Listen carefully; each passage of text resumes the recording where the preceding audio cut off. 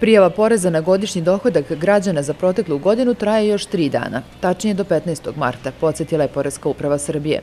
Poresku prijevu za utvrđivanje godišnjeg poreza na dohodak građana za prethodnu godinu dužna su da podnesu fizička lica, rezistenti, uključujući i strance rezistente, koji su u kalendarskoj godini ostvarili dohodak veći od trostrukog iznosa prosečne godišnje zarade po zaposlenom isplaćene u Srbiji u godini za koju se utvrđuje porez, prema podacima Republičkog organa nadležnog za poslove statistike.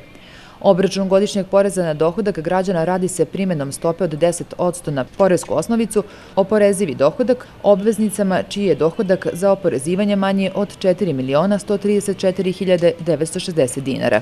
Obveznicima koji ostvaraju dohodak za oporezivanje veći od 4.134.960 dinara na porezku osnovicu preko ovog iznosa porez će se obračunavati po stopi od 15%.